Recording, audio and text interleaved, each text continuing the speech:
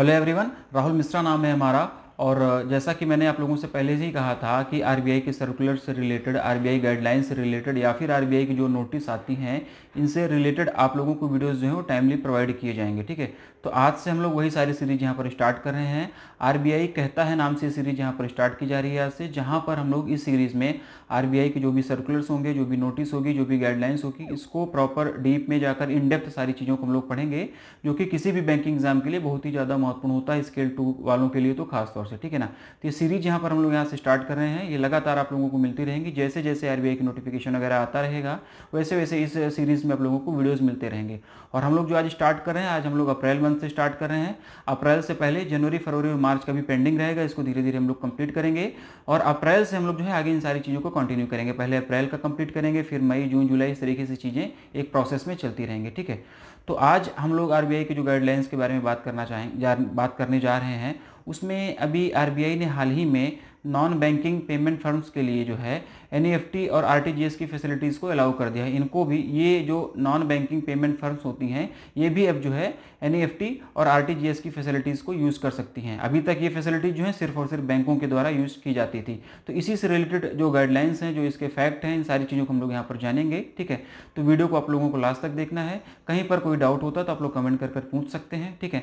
चीज़ों को और ज़्यादा बेहतर तरीके से समझने के लिए, चलिए चलते हैं हम अपने लैपटॉप की स्क्रीन पर और वहाँ पर इन सारी चीज़ों को और बेहतर तरीके से समझते हैं। तो यहाँ पर हम लोग जो है आरबीआई की दो गाइडलाइंस पढ़ने जा रहे हैं आरबीआई के दो सर्कुलर पढ़ने जा रहे हैं, ठीक है? एक तो आप लोगों की स्क्रीन पर ही है, ठीक है?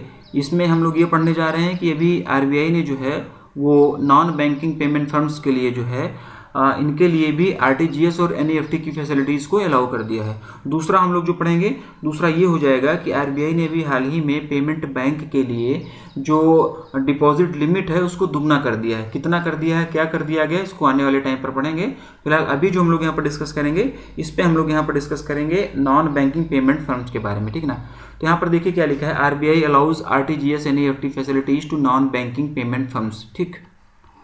तो आरबीआई ने अभी हाल ही में एन और आरटीजीएस जैसी सेंट्रलाइज्ड पेमेंट सिस्टम्स फैसिलिटीज़ की मेंबरशिप को एक्सटेंड किया है, ठीक है?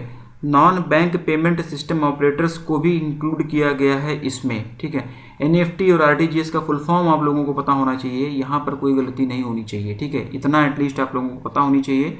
और इनकी मैक्सिमम और मिनिमम लिमिट क्या होती है? एन और RTGS की मैक्सिमम मिनिमम लिमिट वगैरह क्या होती है? अगर आप लोगों को पता है तो कमेंट कर कर बताओ, ठीक है? और इन सारी चीज़ों को थोड़ा और आसान भाषा में समझते हैं, ठीक है? तो स्क्रीन पर जो लिखा है, अगर आप लोग इसका स्क्रीन वगैरह लेना चाहें तो ले सकते हैं। बाकी मैं चीज़ों को और अच्छे तरीके से एलिब्रेट कर रहा हूँ, ध्यान से सुनिए आप लोग। ठीक है? अभी तक जो एन और आरटीजीएस फैसिलिटी होती थी, वो केवल और केवल बैंकों के द्वारा ही यूज़ की जाती थी, ठीक ना? केवल बैंक ही इसे यूज़ कर सकते थे, लेकिन अभी आरबीआई ने अपनी एक नई गाइडलाइन जारी की और उस नई गाइडलाइन के जारी हो जाने के बाद में से अब जो नॉन बैंकिंग पेमेंट फर्म हैं नॉन बैंकिंग पेमेंट फर्म्स जो भी होंगी, ये आरटीजीएस और एन फैसिलिटीज़ को भी यूज़ कर सकेंगे। यहाँ पर ये कुछ टर्म्स हैं, इनके फुल फॉर्म लिखे गए हैं। आगे अभी आप लोगों को मैं बताऊँगा तो यहाँ पर ये इनका यूज़ होगा। इसीलिए मैंने पहले से ही लिख लिया है। सीपीएस का मतलब हो जाएगा सेंट्रलाइज्ड पेमेंट सिस्टम पी का मतलब हो जाएगा प्रीपेड पेमेंट इंस्ट्रूमेंट्स और ट्रेड्स का मतलब हो जाएगा ट्रेड रिसीवेबल डिस्काउंटिंग सिस्टम ये सारे फुल फॉर्म वगैरह आप लोगों को पता होनी चाहिए। कई बार यहाँ से भी क्वेश्चन बन सकते हैं। यहाँ पर इस इस तरीके से भी पूछ लिया जाएगा कि in TReDS what does D stand for इसका मतलब कि डी का क्या मतलब हो जाएगा? तो आप लोगों को डिस्काउंटिंग इसका मतलब होगा, ये पता होना चाहिए, ठीक है? इस तरीके से भी इनके फुल फॉर्म वगैरह आप लोगों को पता होनी चाहिए। यहाँ से भी क्वेश्चन बनाए जा सकते हैं, ठीक है? तो अब जो आरबीआई की नई गाइडलाइंस आई है इसके अनुसार अब प्रीपेड पेमेंट इंस्ट्रूमेंट्स जिसको कि हम लोग पी बोलते हैं, ठीक है? Prepaid payment instrument issuer white level ATM operators ठीक है? ट्रेड रिसिवेबल डिस्काउंटिंग प्लेटफॉर्म्स जो कि आरबीआई के द्वारा रेगुलेट किए जाते हैं, ये सभी एन और आरटीजीएस फैसिलिटी को यूज़ कर सकते हैं। वाइट लेवल एटीएम क्या होता है? ये आप लोगों को बताना है। ठीक है? वाइट लेवल एटीएम क्या होता है, ये आप लोगों को पता होगा वैसे तो नहीं पता है तो पता करो कमेंट कर कर बताओ। पता है तब आप लोग कमेंट कर कर बताओ, ठीक? तो अब इस नई गाइडलाइंस के आ जाने के बाद में prepaid payment instruments issuers white level ATM operators trade receivable discounting platforms जो कि आरबीआई के द्वारा रेगुलेट किए जाते हैं, ये सभी एनईएफटी और आरटीजीएस की फैसिलिटी को यूज़ कर सकते हैं। अब आरटीजीएस वगैरह तो आपको पता होगा, ये तो मैंने पहले ही बता दिया था कि आरटीजीएस का फुल फॉर्म क्या होता है एन का फुल फॉर्म क्या होता है, इसकी मैक्सिमम मिनिमम लिमिट क्या होती है, सब आप लोगों को कमेंट कर कर बताना है, ठीक है ना? और आरबीआई गवर्नर शक्तिकांत दास ने अपने स्टेटमेंट में ये भी कहा था कि इस फैसिलिटी के शुरू हो जाने के बाद में फिनेंशियल सिस्टम में होने वाले सेटलमेंट रिस्क को कम किया जा सकेगा और साथ ही साथ में डिजिटल फिनेंशियल सर्विसेज़ को भी बढ़ावा ही मिलेगा, ठीक है ना? तो ये सारी चीज़ें हो गई इससे रिलेटेड बस इसमें इससे ज़्यादा और कुछ नहीं पढ़ना है, ठीक है ना? R B I allows R T G S N F T facilities to non banking payment funds non banking payment funds क्या होती हैं? ये आप लोगों को पता होगा, ठीक है? तो इस तरीके से ये सारी चीज़ें इससे रिलेटेड हो गई। फुल फॉर्म वगैरह आप लोगों को पता होगा N F T R T G S का, जो फुल फॉर्म है कमेंट में आप लोग इनकी लिमिट वगैरह, ये सब सारी चीज़ें कमेंट करके बताओ।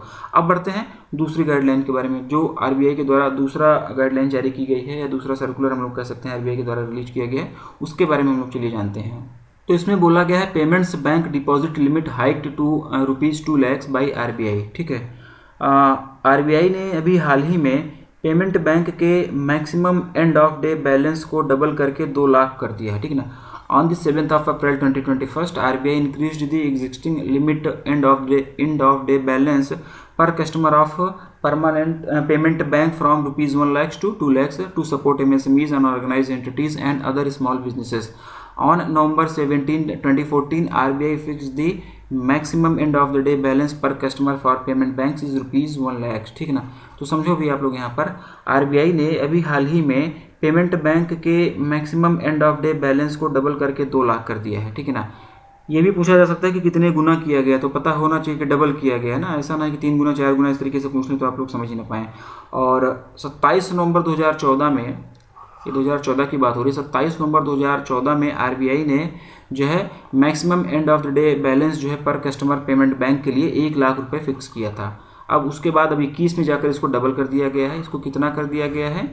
दो लाख रुपये कर दिया गया ठीक है? यहाँ पर एक टर्म यूज़ हो रहा है end of the day balance end of the day balance इसका क्या मतलब होता है? ये आप लोगों को दिमाग में आना चाहिए था। हालाँकि बहुत सारे लोगों को पता होगा।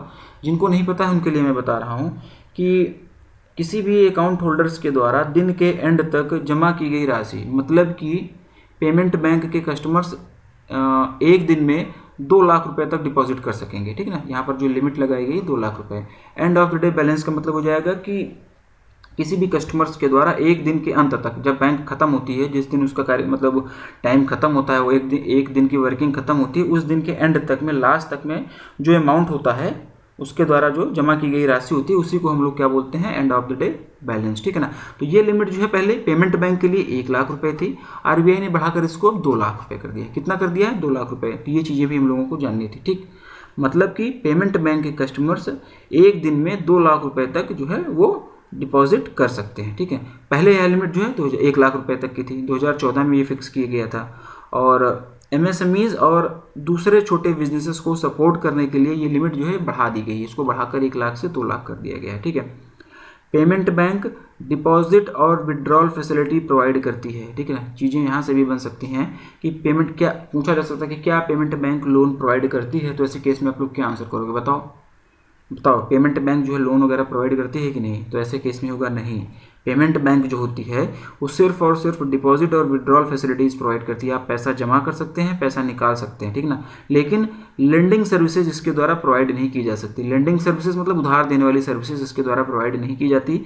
जैसे कि क्रेडिट कार्ड लोन ये सब जो है पेमेंट बैंक के द्वारा नहीं होता। पेमेंट बैंक सिर्फ़ और सिर्फ़ जो है विड्रॉल कर सकती है डिपॉजिट फैसिलिटी प्रोवाइड कर सकती है, ठीक ना? एटीएम कार्ड दे सकती है नेट बैंकिंग की फैसिलिटी प्रोवाइड कर सकती है मोबाइल बैंकिंग की फैसिलिटी प्रोवाइड कर सकती है, ठीक है? ये सारे काम होते हैं पेटीएम बैंक के और साथ ही पेमेंट बैंक के और साथ ही साथ में नॉन रिस्क फिनेंशियल प्रोडक्ट्स जैसे कि म्यूचुअल फंड्स और इंश्योरेंस भी जो है पेमेंट बैंक के द्वारा दिए जा सकते हैं। ऐसा नहीं है कि पेमेंट बैंक जो होगी वो सिर्फ़ डिपॉजिट विड्रॉल फैसिलिटीज़ ही प्रोवाइड करेगी net banking ATM card mobile banking ही प्रोवाइड करेगी। इसके साथ साथ में नॉन रिस्क फिनेंशियल सर्विसेज़ ठीक है ना, जिसमें रिस्क नहीं होता, जिसमें रिस्क कम होता है, ठीक है ना। नॉन रिस्क फिनेंशियल प्रोडक्ट जैसे कि म्यूचुअल फंड ठीक है म्यूचुअल फंड हो जाएगा इंश्योरेंस हो जाएगा, ठीक है ना इंश्योरेंस हो जाएगा, ये फैसिलिटी भी जो है पेमेंट बैंक के द्वारा प्रोवाइड की जाती है, ठीक है। तो ये सारी चीज़ें हो गई। एक चीज़ यहाँ पर हम लोग और जानते हैं कि पेमेंट बैंक के लिए मिनिमम कैपिटल रिक्वायरमेंट कितनी होती है? ठीक ना? पेमेंट बैंक के लिए मिनिमम कैपिटल रिक्वायरमेंट जो होती है, वो सौ करोड़ रुपए की होती है। ठीक ना? पेमेंट बैंक के लिए minimum capital requirement hundred crore rupees की होती है। तो यहाँ पर ये चीज़ हम लोगों ने जानी। End of the day balance का मतलब क्या होता है? Limit of funds that the account holders can keep until the end of the day ठीक है ना? ये मैंने बताया ही था आप लोगों को। तो मैक्सिमम पॉसिबल चीज़ें यहाँ पर आप लोगों को बताई जा चुकी हैं। पेमेंट बैंक की स्थापना कौन सी कमेटी के रिकमेंडेशन के साथ के बाद हुई थी, ये आप लोगों को पता होगा। पिछले वीडियो में मैंने पूछा था और सिर्फ़ और सिर्फ़ एक किसी ने आंसर दिया था और सही आंसर था। आप लोग ये बताओ, और दूसरी चीज़ ये है कि इंडिया की पहली पेमेंट बैंक कौन थी? कौन सी बैंक को आरबीआई के द्वारा पहली पेमेंट बैंक का लाइसेंस मिला? ठीक ना? और आसान भाषा में मैं क्वेश्चन को बता देता हूँ कि भारत की पहली पेमेंट बैंक कौन थी? ये स्टैटिक का भी क्वेश्चन बन सकता है। तो ये आप लोग बताओ। और उसका हेडक्वार्टर कहाँ पर ये बताओ। आरबीआई के चारों डिप्टी गवर्नर के नाम पता होने चाहिए आप लोगों को, ठीक है? आरबीआई के बोर्ड ऑफ़ डायरेक्टर्स में कितने कितने लोग होते हैं सेंटर से कैसे कितने लोग अपॉइंट किए जाते हैं, ये सारी चीज़ें आप लोगों को पता होनी चाहिए। इसमें कुछ मतलब कोई भी कन्फ्यूज़न नहीं होना चाहिए, ठीक? तो अभी हम लोगों ने दो सर्कुलर आरबीआई के बारे में यहाँ पर डिस्कस किया। आरबीआई के द्वारा जारी किए गए दो सर्कुलर डिस्कस किया, ठीक है? ये अभी हम लोगों ने डिस्कस किया पेमेंट बैंक डिपॉजिट लिमिट को जो बढ़ाकर दोना कर दिया गया है, एक लाख से दो लाख कर दिया गया है। ठीक है? तो आज हम लोगों ने अप्रैल से स्टार्ट किया है ना तो आज हम लोगों ने अप्रैल के कुछ सर्कुलर डिस्कस किए। आने वाले अपने वीडियोस में हम लोग अप्रैल के जो और बाकी पेंडिंग होंगे, उसको डिस्कस करेंगे, मई के डिस्कस करेंगे, फिर उसके बाद अप्रैल और मई के जब हमारा कंप्लीट हो जाएगा, तब हम लोग जनवरी, फरवरी और मार्च की तरफ़ मूव करेंगे, ठीक? तो उम्मीद करता हूँ कि चीज़ें आप लोगों को समझ में आई होंगी, कहीं पर कोई दिक्कत नहीं होगी। इन सारी चीज़ों को आप लोग लिखते हुए भी चलना यहाँ पर कुछ बहुत ज़्यादा बताने लायक था नहीं, एक नॉर्मल मोटा मोटा ओवर भी देना था वो मैंने दे दिया। कई कई बार गाइडलाइंस जो होती हैं, वो एक घंटे की गाइडलाइंस मतलब आ जाती है, उसमें काफ़ी डीप में जाकर सारी चीज़ें आप लोगों को बताई जाती हैं। यहाँ पर ऐसी कोई टर्मिनोलॉजी भी नहीं थी जो आप लोगों को ना पता हो। भाई N U F T R T G सबको सबको पता होगा, इसका फुल फॉर्म फॉर्म सब पता होगा, ये बहुत बेसिक चीज़ है। और ये नहीं पता तो फिर बैंकिंग की तैयारी आप करना छोड़ दो, इतना कोई मतलब होता नहीं है। लेकिन ये सारी चीज़ें पता होनी चाहिए। और इसके अलावा कुछ बाकी था नहीं तो मैक्सिमम पॉसिबल चीज़ें इससे रिलेटेड जो थी आप लोगों को बता दी गई हैं, ठीक ना? शक्तिकांत दास आरबीआई के कौन से गवर्नर ये भी क्वेश्चन पूछा जाता है, ये भी आप लोग कमेंट कर कर बताओ, ठीक है? पेमेंट बैंक के बारे में मैंने बता ही दिया है। पहली पेमेंट बैंक कौन सी है, ये आप लोग कमेंट कर कर बताओ। उसका हेडक्वार्टर कहाँ पर ये सारी चीज़ें आप लोग कमेंट कर कर बताओ, ठीक? तो बस आज का वीडियो यहीं पर वाइंड अप करेंगे। मिलते हैं अपने अगले वीडियो में, जहाँ पर हम लोग जो है कुछ और सर्कुलर्स के बारे में डिस्कशन करेंगे। चलिए थैंक यू